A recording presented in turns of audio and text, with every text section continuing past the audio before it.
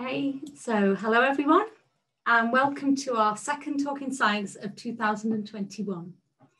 If you joined us in January, you may remember my name is Wendy and I work in the public engagement team at Daresbury Laboratory.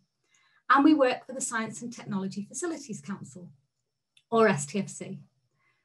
Daresbury Laboratory is based in Cheshire and is one of three national STFC laboratories. The other two are located in Edinburgh and Oxfordshire. So who is STFC? Well, STFC is one of Europe's largest research organisations. We enable the UK's natural sciences, together with the computing and engineering communities, to carry out their world-leading research. And we do this by working with universities, national laboratories like ourselves, regional campuses and scientific facilities right across the UK and abroad internationally. We study a whole range of science from the smallest particles that we know of right through to objects in outer space and the mysteries of our universe. But tonight you'll be finding out about a whole other side to the work that we do in underpinning the support for the UK's businesses. So you don't need to go into outer space to see the impact that STFC has. As you're no doubt aware, we cannot see or hear you, but we have a questions and answer button at the bottom of your screen and you can type your questions in there. And don't be shy because we love audience participation. The more questions we have, the better and no question is a stupid question. We aim to finish at seven o'clock and if we don't get round to all of your questions, we will make sure we answer and record them for viewing afterwards. Tonight we have three speakers and I'm sure you're eager to get going with the talk, so I will hand you over now to Luke, Phil and Aaron Alan to introduce themselves. Thank you. Uh, hello everyone, um, my name is Luke and I'll be uh, leading you off uh, for tonight. Um, so I think uh, my colleague will be sharing the slides uh, in a second, but welcome and thank you uh, for inviting us all along. Um, the overall aim of this kind of discussion, this this talk that we really do encourage you to kind of get involved with and, and, and make your comments on is, is looking at that commercialization of, of science and, and what we do to help people um, create businesses, create enterprise, um, and, and what role STFC plays in that journey. Um, so, so yeah, the three of us will be talking about different kind of elements of that journey. Um, as I say, I'll be starting you off. So, could you share the slides, please, um, Alan?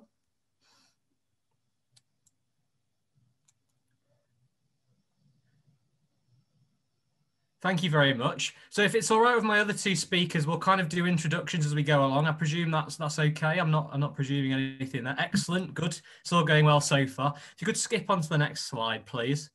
Um, so my name is Luke. Um, that is me uh, at a digital manufacturing conference. I'm presenting to four chairs and an audience as well. I'm, I'm 26. I actually did tropical diseases um, university. So uh, that was Liverpool School of Tropical Medicine. Had a fabulous time learning about all the sort of things you get in places like Africa and Southeast Asia from, from mosquitoes or even snails. Um, but I moved from that into business development for scientific organisations, which is how I landed in STFC. Um, I like Scotland, um, which will become apparent in a minute. And as you can see from the fact I'm doing it now, I like talking a lot. So um, you know face-to-face interactions that that's me all over. I'm and on the other side i dislike zoom fatigue and i'd be shocked if anyone here wouldn't agree with that and i hope this won't be a case of it. I hope this will be exciting and interesting for you all. Um, if you could move then to the next one please. So who is it we work for? Um, so we work for the Business and Innovation Directorate for STFC. Um, there's a picture of us all, um, and you can clearly tell this picture uh, is dated to a couple of years ago because there's a large number of us um, not abiding by two meter social distancing rules. That was at one of our uh, conferences uh, a couple of years ago. Um, a lot of people in the team, as you can see, uh, and we help small and larger businesses access a number of things that you might need in a, in a technology business. So um, technical expertise to understand um, new innovation, new, new, new, technologies that can help you. Um, you might need large scale facilities. There's a lot of stuff that STFC owns that not everyone can afford, and, that's to be expected. So STFC um, owns it, and, uh, and we work with businesses to make sure they can access this if it's really going to drive on what they're doing. Um, and then on some cases, funding. We've got loads of excellent partners we work with in delivering, and these include people like the European Space Agency. Um, and uh, Alan and Phil will tell you a little bit more about that side of things, but also um, the CERN Collider uh, in Switzerland as well. And these are just some of the exciting things that we we see and we learn from. Um, and it's really about bringing this interest into businesses who grow uh, and employ people and, and and make interesting things and bring societal value. And I'll talk to you a little bit more about that. If you could move on to the next slide, please, Alan. Um, I'm going to talk a little bit about where, uh, well, where I will be anyway. Um, at the moment, I work for Edinburgh. I work in Edinburgh at the Higgs Centre for Innovation, which is one of STFC's sites. Um, as you can see, it's just south south of the city centre. Um, and my current role is to help companies access hardware testing for satellites. Now that's really exciting to me. Um, you know, it's things like vibrating them to see if they break and checking they can go to really cool temperatures, which you often have to experience in space, and really trying to help people understand how to use these and, and access them and, and make sure they're compliant and that things won't just fall off when they launch. Um, and that's something I've only been doing for three weeks, so you have to forgive if I'm a little bit, uh, little bit unsure quite what I'm doing yet. But um, but I've really enjoyed that, and I think I'd just like to highlight that even though I started with tropical disease, I've moved on to something that's that's quite different, but it's a very enjoyable path. And what's united the whole thing has been passion for science.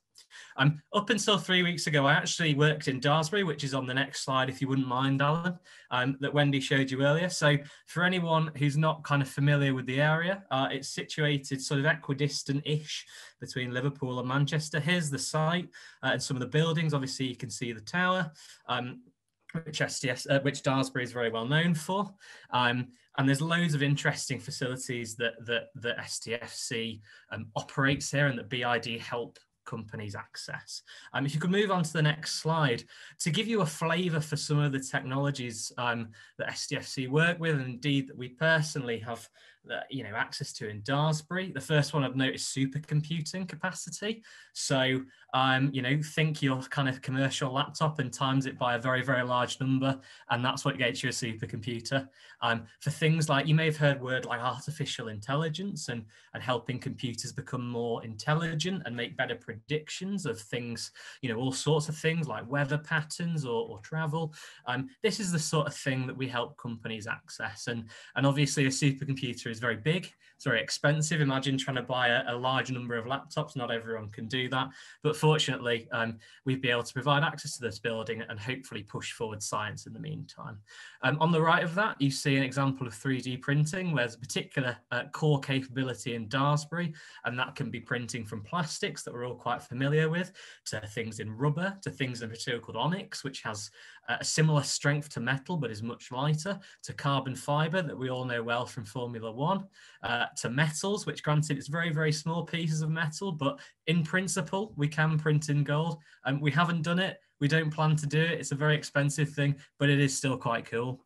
Um, bottom left, you see a, a particle accelerator, which, uh, you know, a lot of the core expertise at Daresbury was built around.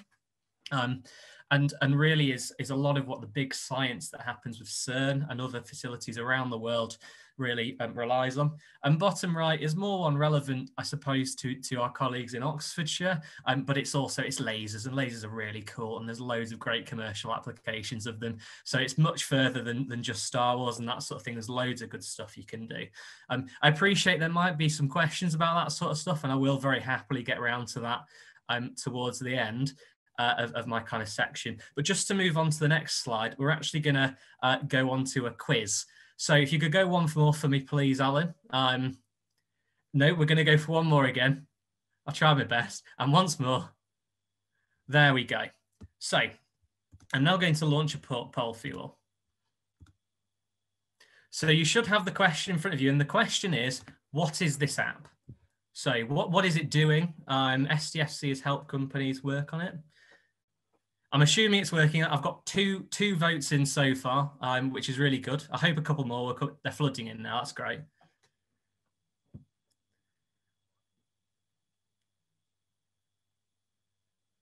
Interesting. There's, I'm going to give it another sort of five seconds or so. So, uh, so get your answer in while you can. I feel like Chris Tarrant all of a sudden. So like ask the audience. Right, I'm going to end it there. Um, the majority of you seem to have got this one right. So this was an app created to look at finding how busy your local supermarket is. So that might have seemed fairly, uh, you know, unimportant recently, but for things like social distancing, this was critical. Um, and um, yeah, so so so to ensure that you go to the right supermarket um, and and that indeed you uh, don't don't kind of crash into people. Where's the best place to go? How long am I going to wait? This app was vital. How did STFC help? Well, we helped provide satellite data that allowed them to make these predictions. Um, and you know geolocation data um, and if I go any further on that I'm going to get it wrong so I'm going to leave that sort of discussion to Alan later he'll talk a little bit more about the fascinating stuff with satellites so on to the next one please Alan And one more, please. There we are. So what is this? What does it do? I'm assuming if we don't know, Luke, we can just guess, really. Uh, yes, no, please feel free to guess. I'm, I, I don't know myself, Wendy. I'm hoping the answers tell me. So, yeah, no, th there are right and wrong answers, but um, but equally, it doesn't matter if you get it right or wrong either. So, another five seconds or so.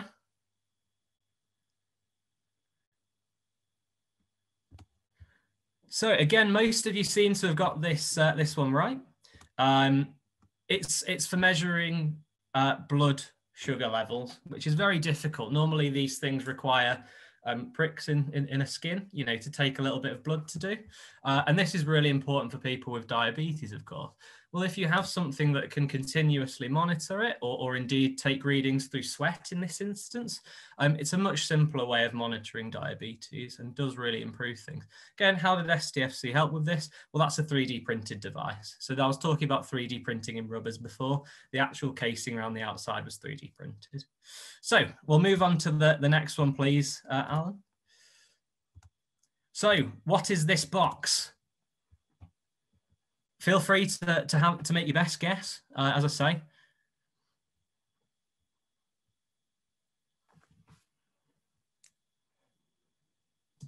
Looks to me like it makes ice. I told you that quietly, Wendy. You're not meant to give it away. It's a trick question. This one's dividing the audience. I'm not going to lie. I'm going to give it another few seconds. See, uh, see if we get one or another pu pulling away. And I'm going to end it there. We, we have a winner. We have creates unique perfume fragrances. Um, it's an interesting, interesting one. I'm afraid it's not right on this occasion. Uh, anyone who's put creates makeup that matches a person's skin tone was correct. Um, and so this was a company called Trigenics. Um, and, and what they've done is develop a device and this uses artificial intelligence to match match cosmetic tones up. And this is just better for a array of reasons, better for the consumer, it's better for the, the shop selling it. Um, and it's a quick and simple process that uses things like sensors and, and, and scanning and, and, and, kind of chemicals, uh, uh, well, not, well, not so harmful chemicals, it involves the mixing of safe chemicals um, and, and, and things to make sure it doesn't irritate skin. So um, yeah, really interesting device and something we don't often see in, in Daresbury, but, but it's great to, to see something, you know, using technology in such an interesting way. So on to question four, please. Uh, I'm sure you know what, to, there we go, fantastic. So what's this, what's this thing? What does this system do? We're looking at the system on the screen there, just to, to be clear, not the presenter itself. So what, what's that thing doing?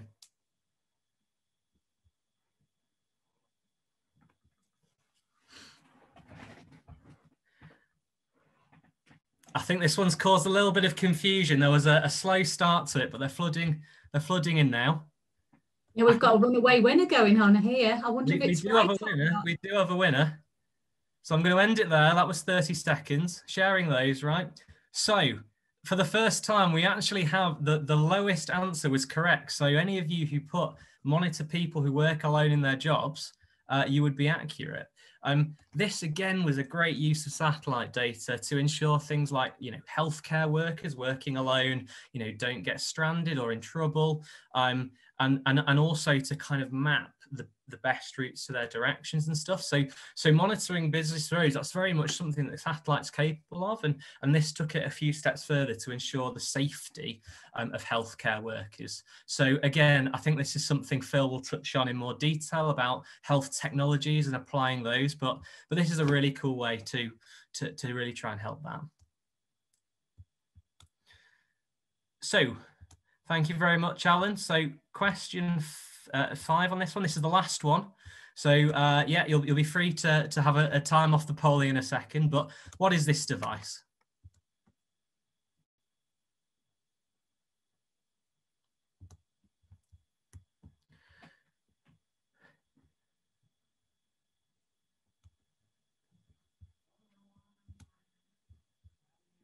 They're coming in quick this time.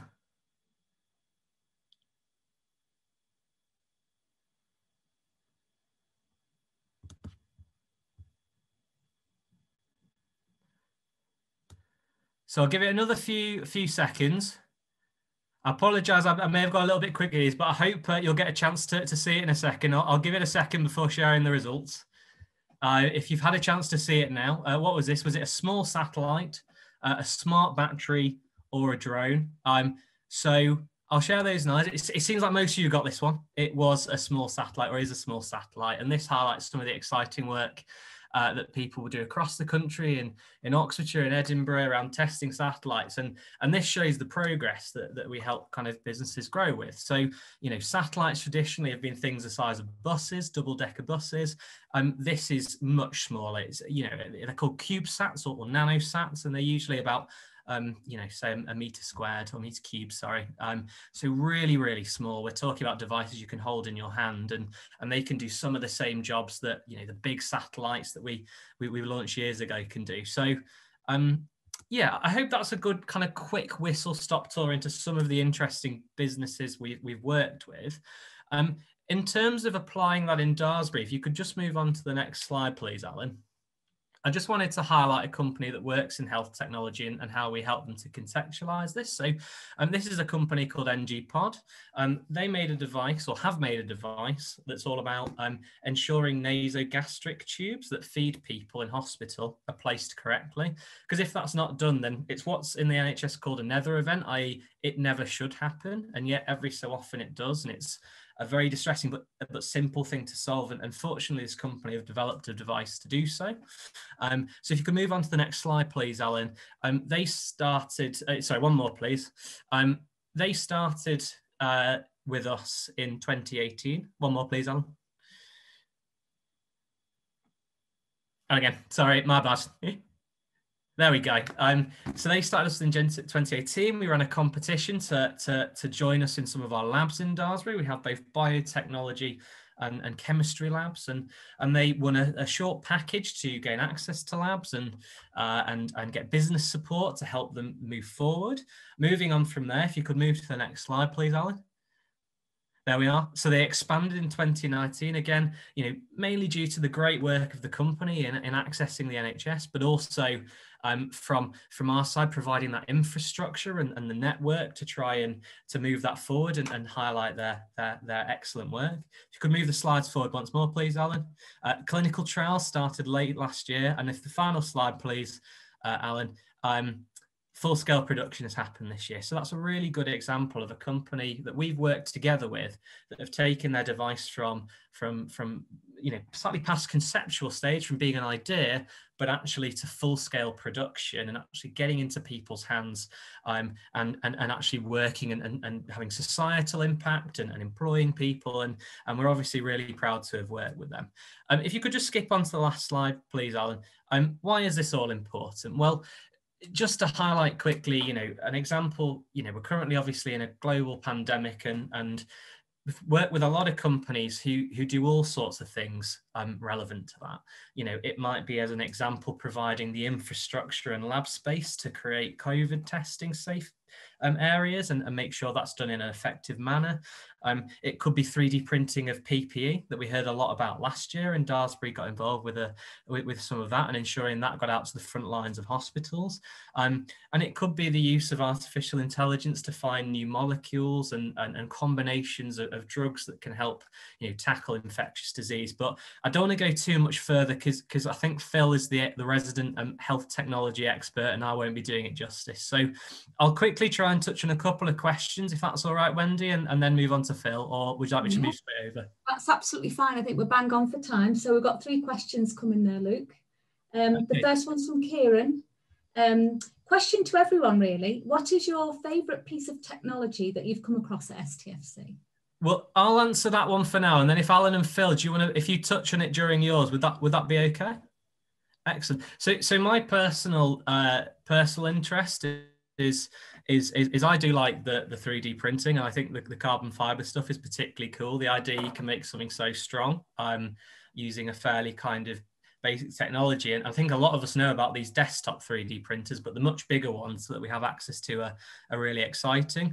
Um, but I'd also highlight as well um, some of the, the work we do in virtual reality and the, the virtualization of things. And we, we all know about gaming engines, but they can also be applied away from PlayStations and Xboxes to, to commercial aspects as well into headsets. So I like that one too.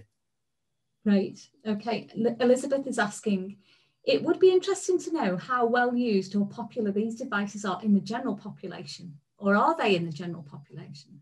Uh, uh, uh do, do, you know which devices specifically, or or, or uh, it doesn't it doesn't say, but actually, are any of these devices out there? Or are they mainly in in the businesses and in the organisations? So, so, if we talk about the NG pod as an example, that's something that's oh the, the diabetes one. Um, not thank you very much. Uh, it's not been rolled out to, to huge extent, but there's there's kind of a lot of processes and medical technology device has to go through for this. And the other thing is there's lots of kind of different bits that that can treat something like diabetes. So uh, I'd have to follow that one up a little bit more to see how far out it's got. But certainly we do. You know, if I take the NG pod as an example, that's being rolled out this year and will be in. We, you know, as I understand anyway it'll be in the hands of clinicians. So, um, so yeah, these two things do, you know, key things of these um, is to um, is to make sure they do get into the hands of society rather than it being something you know that's that's really interesting, but but the application isn't isn't always there. So we, we do make sure that's that's important.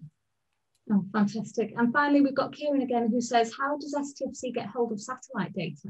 I, I might shirk away from one slightly just in case I go over half of Alan's talk by accident. So um, I'll leave that one for later if that's all right, Kieran, and, and pass over to Phil if that's okay.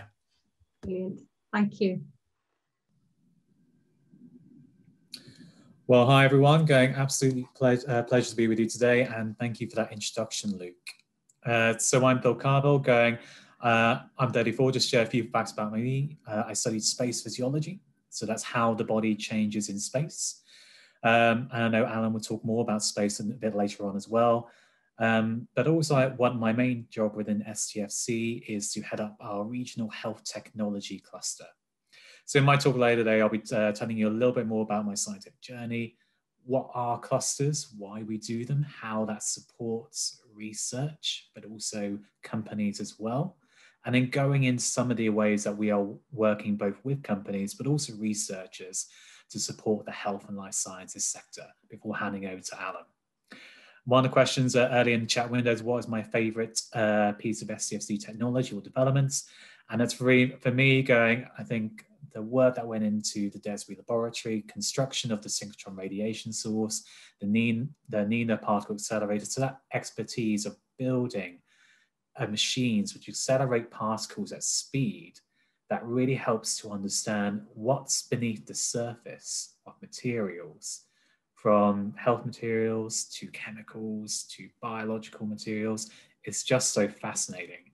Um, and the iconic Daresbury Tower, it was, uh, I remember when I took the job uh, at Daresbury at STFC, it was just amazing to see that up close. Question in the chat window. Um, and again, I haven't got a poll for this one, but uh, in the 1970s, when was the Daresbury Tower constructed and finished? So when was it finished? Does anyone know? I might to ask my uh, panel team as well. So if you have a suggestion of when that was, just pop in the chat window now. Just give it a few seconds.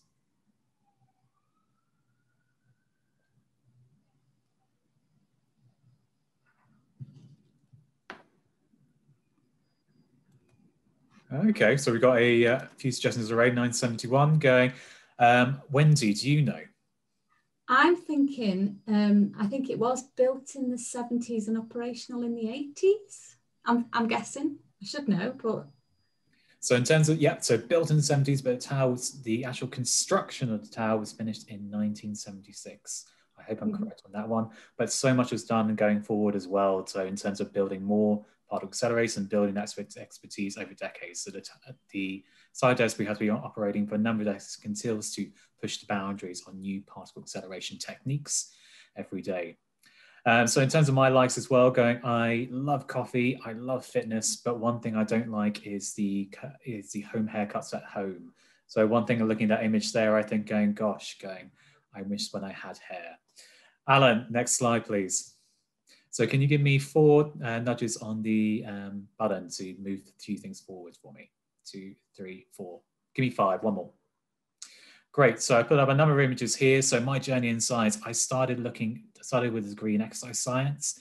Then I got really interested in how athletes adapted in extreme conditions. Then it was looking at space, so how the body changed in space. And then that led me to see how we can adapt humans to space or more importantly, what can we do to keep humans healthy in space? So if I had to drill that down into one thing, it's all about how the body changes in different situations. And that fascinates me. But to do that, we need to look at, uh, start using technology and other mechanisms to go beneath the surface. So one thing that I looked at when I was uh, studying space was how the spine changed in space, particularly going how it how we got taller in space. So again, does anyone have a have a little think? How tall, how much taller does someone get in space? So for context, going when you wake up the morning, wake up in the morning, you are at your tallest. So you can be up to 1.5 to 2 centimeters taller the first moment you wake up in the morning. And then gradually throughout the day, you'll get a tiny bit shorter, again by that 1.5 to 2 uh, centimeters. And that's due to gravity. And that is fascinating. Now, one thing we can do to look into where that's happening is to use medical technology, and that's medical imaging. So we use, uh, so in some of my research, I use uh, magnetic resonance imaging. And again, that's so we can go beneath the surface of the body and actually see the structures. Um, and that sort of imaging technology is used in STFC and different, different types of imaging to understand how structures change. Um, so this actually project I worked on going for space, I looked at how the spine changed with load. So when you look to push some load on the shoulders or the feet, and also when you had no load, so when you were laying down. And this helped to design a suit for astronauts to wear in space, which flew on two occasions. So in the bottom right corner there, you can see the astronaut Andreas Mogensen, uh, Mogensen wearing the suit on the International Space Station, which is the largest um, um, a laboratory ever created in space so far. And particularly with the Mars rover landing last uh, couple of days ago, I'm so excited to see going what new laboratories and scientific discoveries we have make over the next decades. I'm sure a number of you on the call will be at the forefront of that. One thing, uh, a couple of things I'm really passionate about is public engagement and talking about quality, diversity, and inclusion. And I've had careers throughout my uh, time in, uh, in science from when I was at university all the way to now, and I've loved every job for different reasons. Alan, can you give me two more uh, clicks, please? So my question when I finished uh, uh, my uh, degree at university was going, how can I support research and innovation flourish? And that was, for me, going, I loved working in science and still do, but how could I do more? And for me, I was really interested in how businesses are working research, how research is funded, and how we can bring people together to create new innovation. So taking new ideas or putting the ideas in different situations. And that's what really motivated me. So Alan, Alan give me a click, please. Perfect. So that's what tried me to this job, and this was cluster development. So what is a cluster? So clusters look to bring entities, so different organizations together around a particular sector. So within uh, our organization, STFC, we have six clusters either launched or in development. So there are uh, six others of me. So around SCO, all of them have more hair. So uh, we started cluster development in 2010, so just over 10 years ago in the space sector, and we've grown this to health and energy in the Oxfordshire region. So developing clusters, so bringing people who are really passionate about those subjects together to share ideas around research, to bring businesses around, think how we take those research into potential products, but then also how we actually support new jobs, new research, and new innovation in those areas. We've also taken this model about how we develop clusters now into the Northwest. So I head up our health cluster up there. And myself and Alan are actually working on a new project now to think of how could we build a Northwest space cluster? So where space can add value to this region. So Alan might touch on that a little bit later, but can we go to the next section again to think about clusters again? So one more click, Alan. So again, this is the Daresbury Laboratory, that iconic tower there. It's a national science innovation campus and it hosts that regional health cluster. The cluster is there to connect those capabilities, those organizations together. We do that to around a central vision of empowering citizen health and well-being.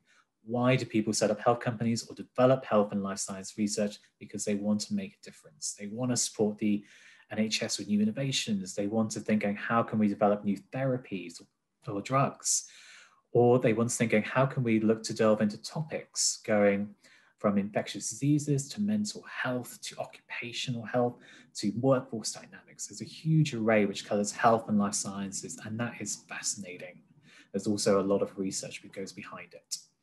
So who works in the cluster? Over 50 organizations. So Alan, can you go give me three tabs? One, uh, one more. So again, the same slide before, and this slide here, you were thinking that is a lot of tiny writing. That is all the organizations we work with so far in the health tech cluster. Now, Alan, can you give me one more slide? So back to my Starbucks career, that reminds me going when I when I put this all down, who do we speak to? I thought this looks like a coffee board. You know, when you walk into Starbucks or Costa, you go in and you think going, I just want a coffee or I just want this. And sometimes it it's so helpful just to speak to someone who can point you in the right direction. And that's what we look to do in the cluster is sort of bring all that board together and then help to help everyone in that coffee shop understand what it is. So when someone walks in, they can more intelligently signpost them to who they need to speak to. Alan, give me one more. No, that's me working in Starbucks. So again, give me one more. Okay, so that's what I'm talking about. You've got a company there and a national organization there. For this one, this was the National Institute of Clinical Excellence, Healthcare Excellence, helping companies to understand going some about the standards that we have in place to create or develop new health technologies. So again, a great connection there, one of our conferences there. Alan, next slide. So very briefly, some of the things we've done over the last sort of a year or so, 1920, you're thinking, why did you do this? Well, we've supported new companies coming into the region. We've helped people build new collaborations, develop new research ideas. We've helped them go to uh, uh, trade missions coming into the country to understand going what are the people they need to speak to. And also put on specific events as well around themes. A lot of people may be passionate about uh, digital health. So health, you know, potentially creating applications using the phone. It could be looking to do around healthy aging. So how we design products or services for the aging community or to empower people as they age. So what we tend to do is create focus areas and bring the people who are interested around, around that together. And again, one thing you've heard already is that I'm really passionate about where different sectors interact between space and health. So we've created certain groups and activities so those two sectors can meet and start to share more insights as to where the space sector could influence the health sector, where doing things in space can help. And again, I won't go into that too much detail because Alan may touch that on uh, in his slides, or we can take into Q&A. Next slide, Alan. Now, one uh, next couple of slides I'm just going to go into is thinking some of the national laboratories. So again, the questions was, what is some of the favorite technologies I have within STFC? And there are just so many. But how do these actually support new products or services or work with companies and researchers? So uh, Luke already mentioned the Hartree Center. So one of our key centers for date, working with big data, so large data is coming either in big sizes, at fast speeds, or in different varieties of data. So when we talk about data, even if you talk about your phone going, it could be text data, so things you're just writing down. It could be numbers, so large amounts of numbers going, and it could be in very different settings as well. So how does that work on a health side? So Alan, give me the next slide, please. So this is a case study of how the Hartree Center, that national, one of the national centers that are working with big data and create, using, creating tools using artificial intelligence to actually understand data, work together with other organizations like IBM Watson and the Alder Hey Children's Hospital. Well, thinking, how can we build something together whereas there needs to be value?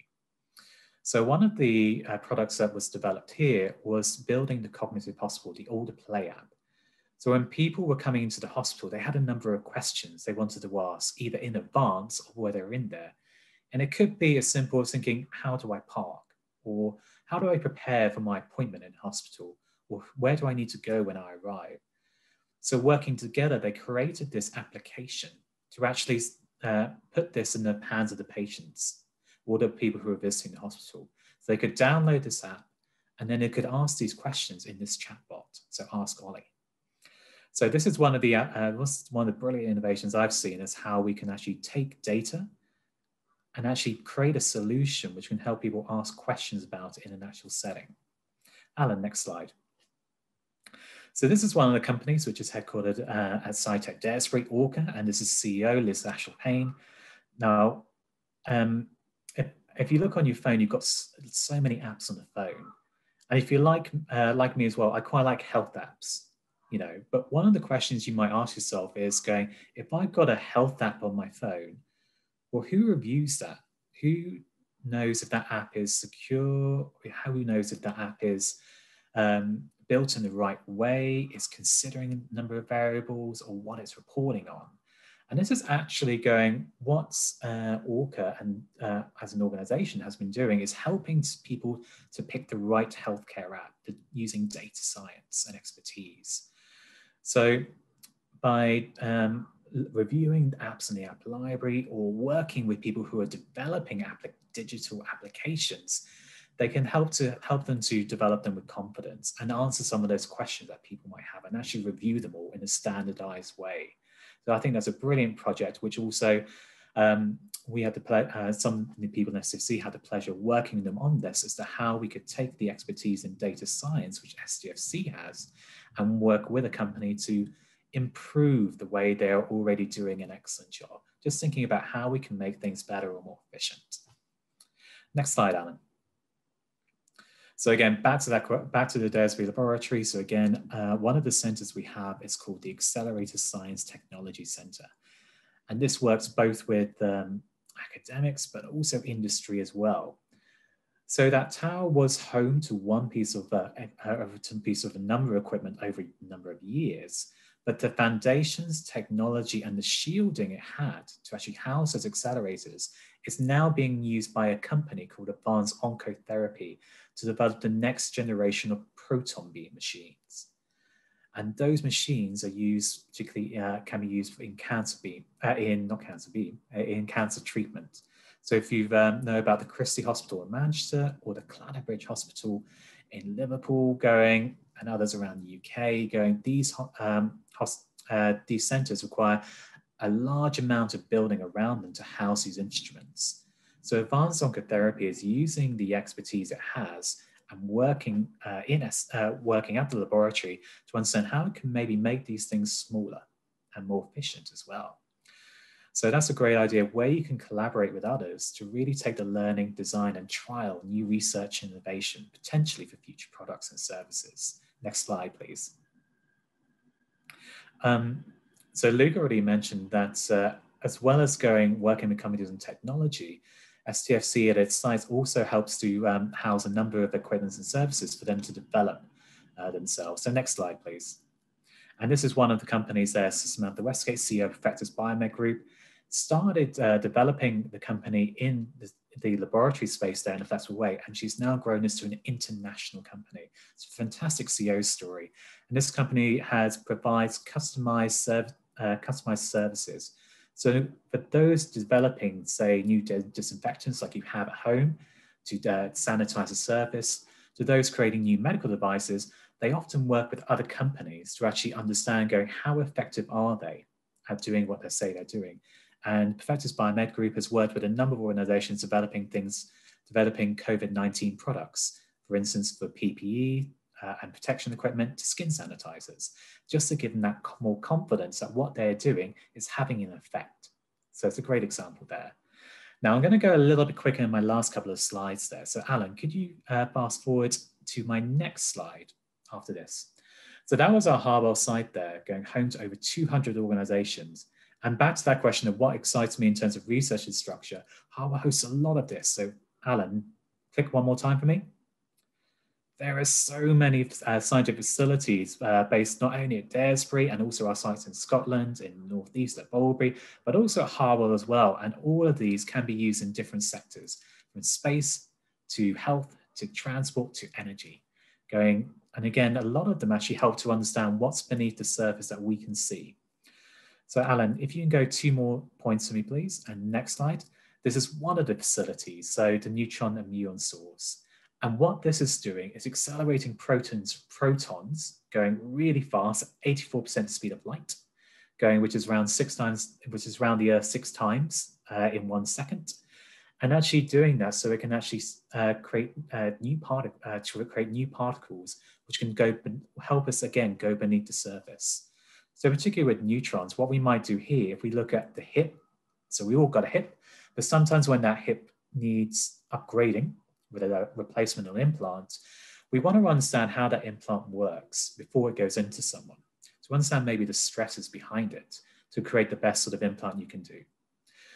So uh, some of the work at the uh, laboratory there has actually looked to actually go beneath the surface and understand the different materials. So again, to just give that uh, give that information to the designers of these hip replace uh, hip implants as to going what they're made of and how maybe they could be designed or materials be utilized to optimize that. Alan, next slide. So I'm just going to hand over to Alan now. So again, this is an example of in between space and health, where space technology can be used to go into the health sector. And I think this is a great, a great way to go segue straight into Alan now to talk about a bit more about space. So Alan, over to you. Just while you're handing over there as well, Phil, um, there's somebody called Alan in the audience tonight. I think he may have worked at Daresbury. He said the tower was constructed in only a few weeks thanks to a new fast shutter construction, which is completely beyond me, but um, it sounds very interesting. It makes me wonder uh, how hard it would be to take the tower down, to be honest, because it looks quite a robust tower, doesn't it? Hopefully, we don't need to ask that question for a long time. To, uh, exactly. Okay, over to you, Alan. Thank you. Thank you. Thanks, Phil. So, uh, my name is Alan Cross. There we go. Um, I am 37. I am not from a science background. I uh, trained as an actor back in the day and had a little bit of success with it, and then became a singer, which for many, many years, I made a living. Still, I'm a singer but segued into science because I was so interested in space and in developing space in the Northwest. So um, my job day to day is to help businesses understand space applications. That's the use of data from space. I don't mean about black holes and stuff. I mean positioning data from satellites and satellite communications um, and Earth observation imagery, this sort of stuff. And to help businesses understand how can they create new products and services around that and then funnel them into get some uh, to getting some funding and support from the European Space Agency. Um, as Phil touched on then, I'm also the co-lead with Phil on developing the Northwest Space Strategy to develop a Northwest Space cluster. My likes and dislikes are very childish. I like space and I like sweets. I also like dinosaurs and I do not like getting up early. Uh, but to make myself look a little bit more professional, I also say I don't like acronyms. I actually don't like acronyms. I really don't like acronyms and this is full of them, so I apologize in advance. Moving on. So I'm going to talk a bit about space and the space industry. So it's very easy to just think space is about rockets and it's something that the Americans do or did many, many years ago. Um, but globally, space is big business. This is, you know, hundreds of billions of pounds. If you don't know, to count to a billion would take you almost 33 years. So it's a big number. Um, in terms of growth, the space industry is expected globally to reach over 700 billion pounds in 20 years and to be well over a trillion pounds in value by the middle of the century. Here in the UK, it's also big business. It's about 15 billion pounds away. It's probably now closer to 20 billion. We'll know in the next few months when um, there's a report coming out called the Size and Health Survey. Now, as I said, it's not all about building rockets only in the UK, and this is actually accurate for the rest of the world, only about one third of the space industry is about building and operating rockets and spacecraft and, and the ground infrastructure and that. Um, I should point out that there's billions and billions that's being spent is not necessarily all governments. This is by and large commercial operations. Um, but as you can see there, about two thirds is the downstream, which is what I mentioned. It's the use of the data from space. Um, for example, some of you may use Uber or Deliveroo. These are all services that are enabled by satellites. And you may not think, you may think, well, I just touch a button and it happens. That, space. But when you touch a button on your phone and identify where you are, you're interfacing with billions of dollars worth of spaceships by doing that. So we use space every day, every single day. As you can see, the UK is committed to growing its share of the space sector. This is a high growth sector. We're quite good at it. We're good at the underpinning technologies, and the UK wants to improve that. Now, here in the Northwest, and I apologise to anyone tuning in who's not from Northwest England, I'm going to focus broadly on that. We are the largest digital economy in the UK outside of London. We are the largest aerospace manufacturing hub in Europe, and yet we only generate half of 1% of the UK space sector. So you may ask, why are we looking at developing a space cluster in the Northwest? Currently, the space sector in the Northwest looks like this. There are about 75 organizations. As you can see, this is mostly a commercial operation. Um, now, the Northwest has a slightly different split. So unsurprisingly, you know, in the Northwest, we build stealth fighters and nuclear submarines and this kind of thing. So unsurprisingly, the upstream, the manufacturing and operation of space technology is about half of the space industry here uh, with the downstream applications. Following and midstream. So midstream would be someone who builds a piece of equipment that interacts with satellites and then they build a, a digital service surrounding that. So a little snapshot there. I won't take this too long. So why look at the Northwest if it is apparently doing so little?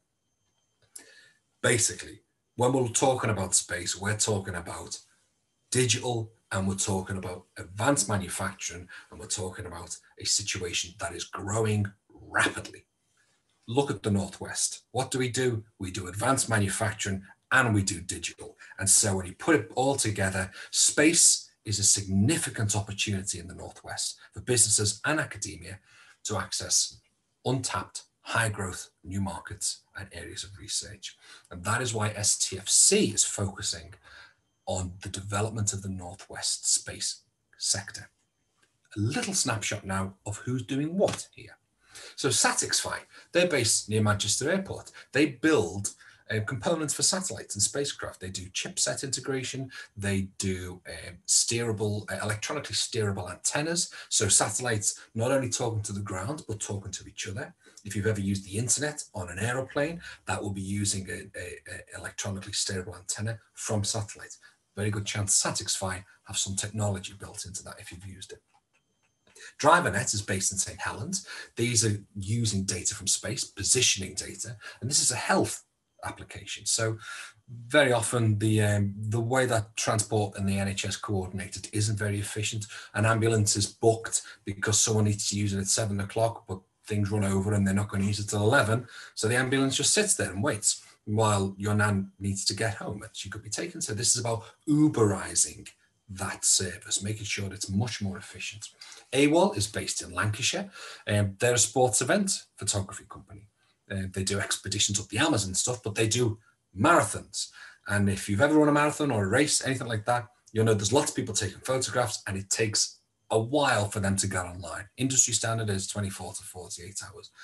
We've worked with them to help them understand that they can use satellite communications and we help fund that. And now they're the only company in the world that can do that in real time. And they've got the biggest players in the world knocking on their little door in Lancashire, asking them how on earth they did it. And there's also the square kilometre array here in in the, in the northwest. If you don't know what that is, when it's finished in 2030, it'll be the largest instrument ever built by humanity. It's it will it will make the Large Hadron Collider look like spare change, like a, a little a, a little science project. It will be a series of radio telescopes that, when linked together, will stretch from Africa to Australia. It will form a single astronomical instrument the size of the Earth. Why have I mentioned it for the Northwest? Because global headquarters is right here. It's in Cheshire at Jodrell Bank. They've got a snazzy new building with all flags outside, all sorts of stuff. It's a wonderful thing. So the Northwest Space Strategy, we're looking to increase the number of organizations doing space in the Northwest. This is who we're working with. All of the local enterprise partnerships in the region, national research councils, By the way, this is where the acronyms come in. Uh, the Northern Space Consortium, the Northwest Aerospace Alliance, all the necessary players are coming together because we've realized that the Northwest can do space and that it will be a great driver and generate lots of jobs in the Northwest. So STFC is leading on this project. We are mapping what's actually happened in the Northwest, trying to get an accurate picture of the space sector. We're going to analyze and see what our strengths are and how that relates to emerging trends in the space sector.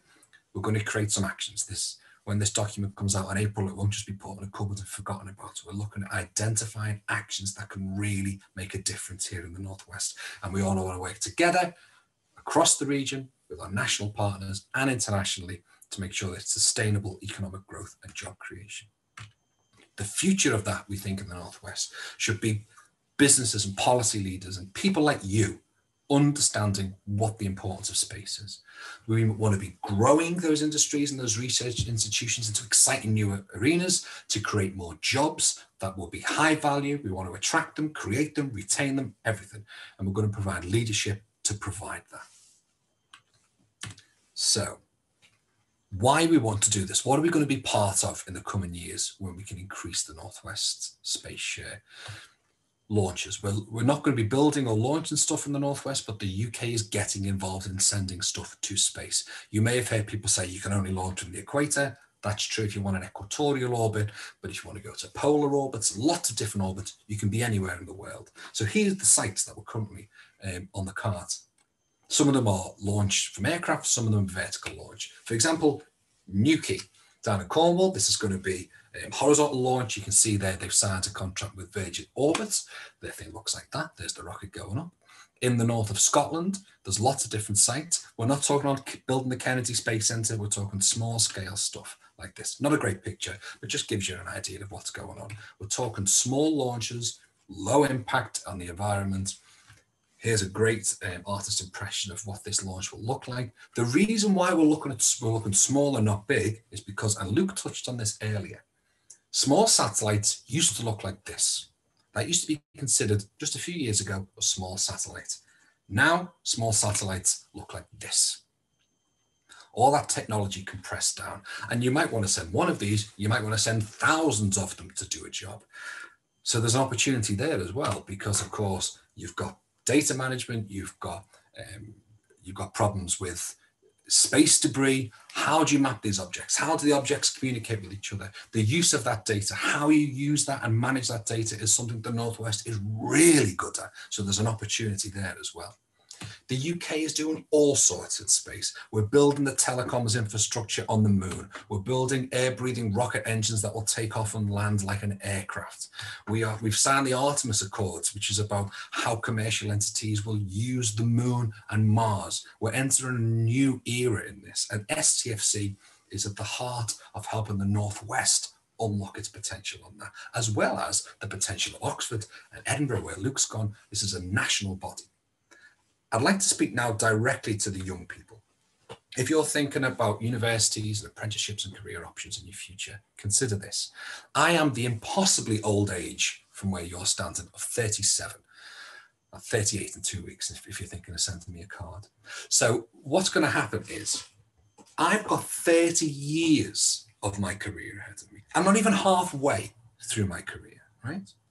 And now for you, if you're a young person, you, old people like me will tell you that you've got the world at your feet, and it's true. But when you get to my age, not even halfway through your career, you will not have the world at your feet. You'll have three.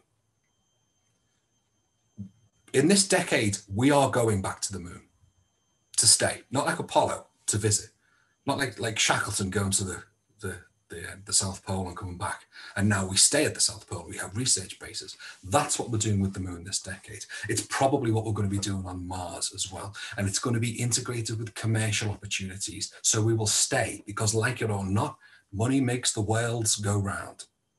STFC is helping businesses to understand how they can do this. I'd say to you, if you're considering a career path, dream big. Dream so big it frightened you um, it will terrify the people around you, but it's important that you dream big because the future belongs to those who believe in the beauty and power of their dreams. You've been born at a time 300,000 years humans have been around, and you've just turned up at the exact time that we're about to laugh and reach out our hands amongst the stars. So it's important that you dream big and that you action it. Never be afraid to ask questions. Never ever be afraid to ask for help. And that's what STFC is here to do. And now I'll take any questions that we have. Wow, that was quite inspiration, that Alan. I would imagine a lot of schools would welcome you in to give inspirational talks to the students. Absolutely amazing. Uh, we've got time to take uh, questions, so please send them in to us through the Q&A button. Uh, we've got one here off Mike. Um, many years ago, I attended a lecture by Professor Eric Laithwaite, the father of maglev. He showed a clip from a then current children's sci-fi program called Fireball XL5, the ship being launched on a rocket sled. He said, give me a small plane and a medium mountain and my technology will get you into space without rockets. This was probably a boast, but the railgun is now real. So how about a less noisy, repeatable and more environmentally friendly launch? The answer I would say to that is um, G-force. A, a railgun, a rocket accelerates gradually because it's you can throttle it. A railgun accelerates you instantly um, several million Gs that would reduce you to liquid, frankly. Um, there, there is talk about mass drivers and whatnot on the moon. Of course, the problem is if you're going to accelerate something to orbital speed on the ground, there's a lot of air to push through and you'll melt. Um, so you have to get through the atmosphere and then accelerate. Uh, on the moon, where there is no atmosphere, you can accelerate as fast as you like on the ground. So it may well be that maglev will be used in that instance. Okay, thank you very much for that. Um, can, I, can, I, quickly interrupt as well, Wendy, yeah, which is to point in the direction of a company called Skyrora, who um, I think that eco consciousness is right at the forefront of their thinking um, and have developed a rocket fuel called Ecosene made out of recycled plastics and have many other socially important bits, but, but that's one bit that I'd recommend. So that was Skyrora and, and also Skylon, um, the Skylon I mentioned before with reaction engines, that is an air-breathing rocket engine that starts off as a regular aircraft engine, becomes a rocket engine, flies up and down to space as a single unit and is powered by hydrogen. So the output of that is water and not mm. an awful lot of pollution from that. We're going to be hearing a lot more about hydrogen in the near future, I would imagine. Um, Joe is asking, hi Alan, what degree will you take to get into the space industry if you were a young person? Um, anything science, um, science, technology, engineering, maths. Um, there's such a broad range of applications. You can do software engineering, you can do mechanical engineering, chemical engineering, um, pure mathematics, physics, astrophysics, whatever it is you want to do. As long as it's the easiest way in would be science, technology, engineering, it's maths. Um, I didn't do that. I was an actor and came into it that way uh, because I had a knowledge of what was happening in the Northwest and was passionate from that. But that would be, for, as you know, there's now um, the call open for astronauts from the UK. I can't do it. I don't have a master's in in in in STEM yet. Maybe I'll get one for the next time round. Mm-hmm. That would be my recommendation. Elizabeth is asking, are there other pathways rather than just going through a degree route? Oh yeah, absolutely. So apprenticeships, um, STFC does apprenticeships for uh, in a variety of different sectors.